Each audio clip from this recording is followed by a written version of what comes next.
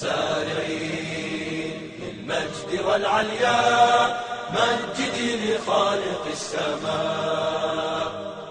وارفع الخفاق أخضر يحمل النور المسطر رددي الله أكبر. يا موطني موطني قد عشت فخر المسلمين عاش الملك للعلم والوطن.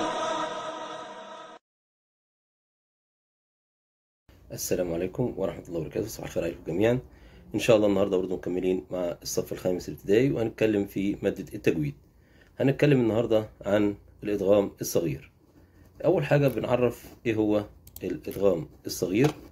اللي هو آه، إحنا عندنا بندخل الميم الساكنة في الميم المتحركة بحيث ال- ال- الاتنين ميم هيبقوا ميم واحدة مشددة آه، طبعا مع الغنة. طيب زي إيه مثلا؟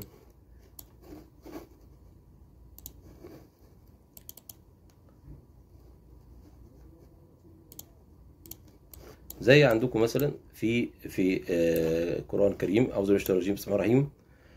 في آه، آية وربكم من. فأصبحت هنا الميم الساكنة جه وراها الميم المتحركة فأصبحت ميم واحدة اللي هي مشددة مع إظهار الروم. وربكم من. أهي وادي أهي معاكم أهي تمام. وبرضو في هنا أمن. لكم ما. تمام؟ اهي وينزل لكم وينزل لكم من السماء. اهي كل ده اهي ففي عندكم برضو في كذا آه مثال أهو. آه منه منهم من منهم من قصصنا. أهي. منهم من قصصنا. فأصبحت الميم الساكنة والميم آه، المتحركة ميم واحدة مشددة.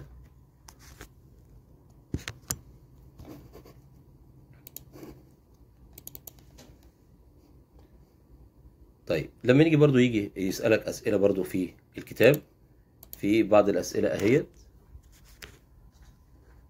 هيجي يقول لك آه، ما تعريف الإدغام الصغير؟ إحنا لسه معرفينها ان إحنا بندخل ميم ساكنة على الميم المتحركة. بحيث تصبح الميمين ميم واحدة آه، مشددة مع إظهار الغنة. وبرضو آه، الأمثلة هنا من اياتها أن خلقكم اللي إحنا لسه قايلينها لهم مغفرة اهي ميم ساكنة يقول لك طلع ال- الإدغام الصغير. كما توليتم من قبل. فدي برضو هتيجي لك برضو أسئلة زي كده وتبتدي تحلها. وبرضو هنا عندنا في تلاوة سورة غافر اللي إحنا كلمناكم عنها قبل كده. اهيت. هيجي برضو آه النطق الكلمات ممكن يعني مثلا إيه يتحاجون الضعفاء مغنون جهنم اد ادعوا تك تأتيكم وما دعاء الكافرين رسلنا رسلنا معذرتهم.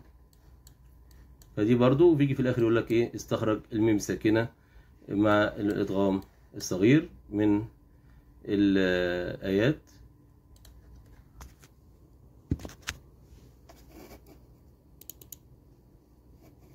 ونيجي برضو مكملين برضو مع سورة غافر. أي برضو آتاهم إن في صدورهم ببالغي ولا المسيء. وبرضو هنا برضو يقول لك هيستخرج برضو الإدغام الصغير.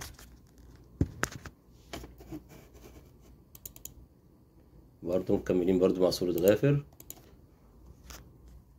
برضو هنا اهي. لآتي لآ- لآتيه لا لا هنا دي لآتية عشان في هنا تنوين. لآتية وقال ربكم ادعوني داخرين. لكم الليل. تؤفكون. يؤفك. طبعا دي كلها برضو من سورة غافر. وبرضو هنا. ف فبكده إن شاء الله يعني بنكون إحنا يعني آه، شرحنا لكم برضو الأدغام الصغير وإدينا لكم برضو أمثلة عليها وقراءه سورة غافر. وإحنا برضو قرأنا لكم سورة غافر يعني أجزاء منها آه، في الفيديوهات السابقة وتقدروا إن شاء الله ترجعوا لها. وبإذن الله برضو مكملين معاكم برضو ونتمنى لكم التوفيق والدعم لينا عشان نستمر معاكم إن شاء الله. والسلام عليكم ورحمة الله وبركاته. ورحمة الله وبركاته. النهارده برضو مكملين مع الصف الخامس ابتدائي صباح الخير عليكم جميعا. هنتكلم النهارده على مادة الرياضيات. فهنا آه، في أمثلة في الكتاب موجودة فأنت مطلوب منك إن أنت تحلها. يعني هنا في مثال بيقول لك إيه تم تدوير مؤشر الكورس. هنوريها لكم أهيت. تم تدوير مؤشر الكورس المجاور مرة واحدة. أوجد احتمال كل حدث مما يأتي. طبعا الاحتمالات اللي إحنا خدناها قبل كده فهنا بيقول لك احتمال اللي هو الرقم أربعة. فالكورس عندي أهو. فرقم أربعة هو موجود واحد بس واحد بس موجود. فهيبقى واحد على ستة هم عددهم ستة. هنعد عددهم كلهم ستة. فرقم أربعة الاحتمال إن يجي واحد على ستة. هنا بيقول لك عدد أقل من الستة. الأقل من الستة اللي هم الخمسة. أهي خمسة على ستة. عدد فردي. الأعداد الفردية اللي عندي واحد والتلاتة والخمسة يبقى تلاتة على ستة. اللي هي برضو بتساوي واحد على اتنين. عندك آه التسعة. التسعة طبعا مش موجودة. أهي فطبعا هحط صفر على ستة. عندك برضو هنا إيه؟ الواحد أو الستة. الواحد أو الستة هما عدد رقمين أهو. الواحد أو الستة رقمين يبقى اتنين على ستة. أقل من السبعة. الأقل من السبعة اللي هو ستة على ستة اللي هي برضو بتساوي واحد.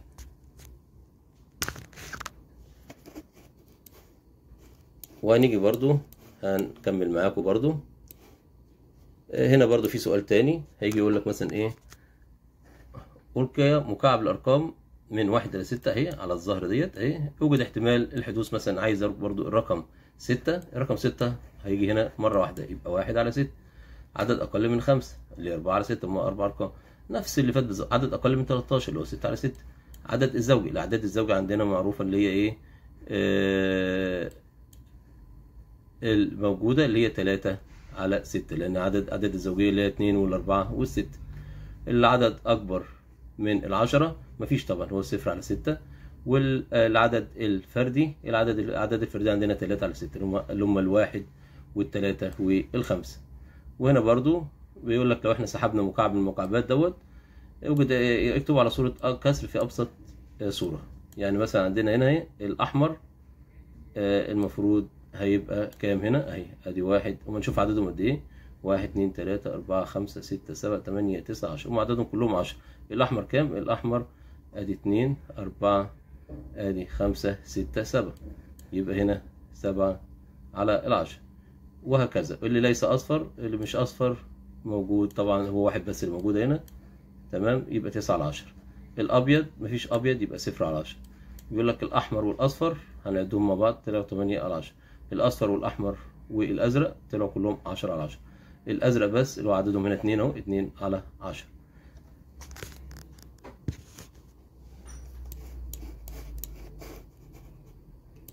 هنكمل برضو معاكم.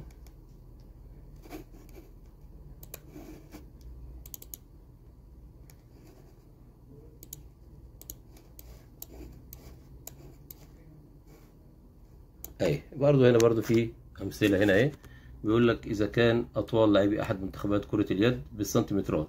واحد 160 سم واحد 165 واحد 148 واحد 150 واحد 158 واحد 155 واحد 170 واحد 165 عايز الوسيط لهذه الأطوال اللي هو المتوسط. يبقى إحنا هنجمع 160 زائد 165 زائد 148 زائد 150 زائد 158 زائد 155 زائد 170 زائد 165 ونقسمهم على عددهم. أدي كام واحد واحد اتنين تلاتة أربعة خمسة ستة سبعة تمانية. لما نجمع دول نقسمهم على تمانية هيديني مية تسعة وخمسين. برضو نفس الموضوع هنا. آه، في الأسئلة برضو هي نفس المكرر نفس الموضوع هو في الوسيط.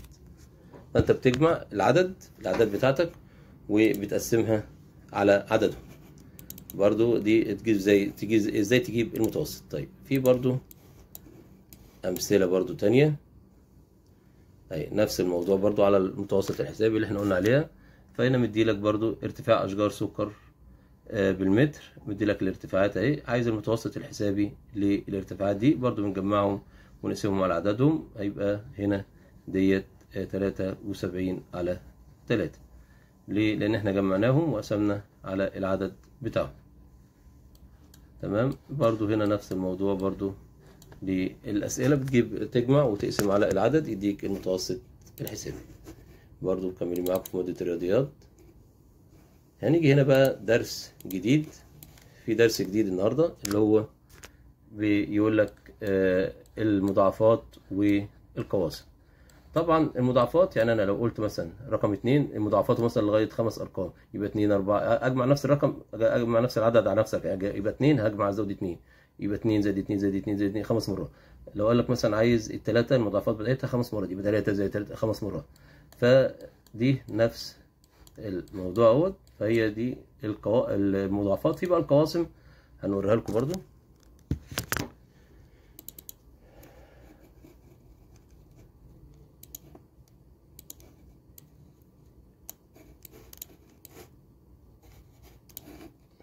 ادي القواسم هنوريها لكم. معانا. آه هنا برضو هنا. أهي.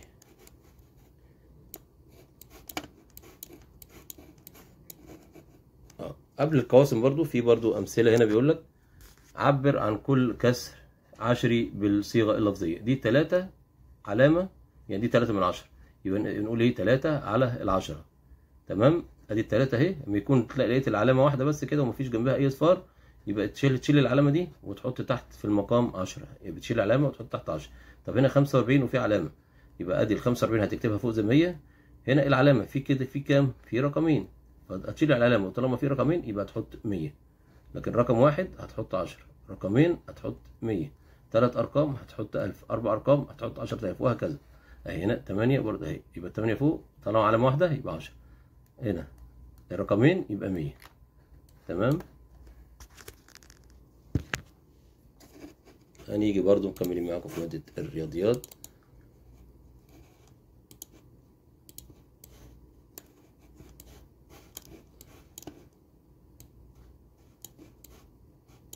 أهو عايز مثلا هنا عايز قواسم العدد 24 طبعا ال 24 هنضربها في نفسها. تلاقي واحد في 24 ب 24 3 في 8 ب 24 2 في 12 ب 24 6 في 4 ب 24 يبقى هي دي القواسم ممكن يقول لك بقى هات لي قاسم مشترك. يدي لك رقمين يقول لك هات لي قاسم مشترك وهنديكم مثال عليها دلوقتي.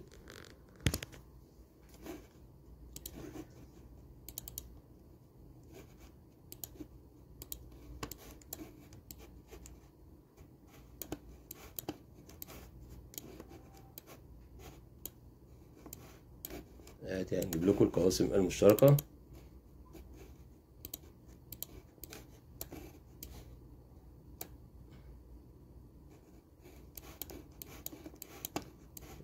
معاكم هنديكم مثال عليها مثال من الكتاب. تمام؟ آدي. أهو. آدي مثال أهو.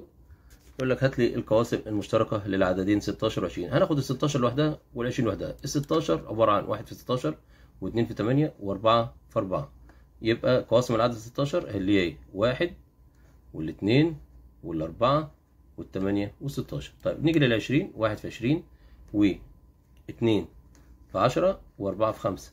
يبقى القاسم العدد عشرين واحد واثنين وأربعة وخمسة طب إيه المشترك؟ أدي الواحد هنا موجودة في الستاشر وموجودة هنا. الاثنين موجودة هنا وموجودة هنا. الأربعة موجودة هنا وموجودة هنا. يبقى هما دول القاسم المشتركة واحد واثنين والأربعة تمام؟ يبقى هي دي قواسم اهي المشتركة ما بينهم. فهو ده اللي هيجي لك بالظبط؟ يجي لك سؤال يقول لك هات لي يا إما القاسم للعدد لوحده أو يا إما هات لي المشترك اللي مديك عددين. وطبعا نتمنى طبعا التوفيق ليكم جميعا إن شاء الله ونتمنى تكون يعني فيديوهاتنا بتفيدكم. ومستني معاكم دايما إن شاء الله ونتمنى دعمكم. والسلام عليكم ورحمة الله وبركاته.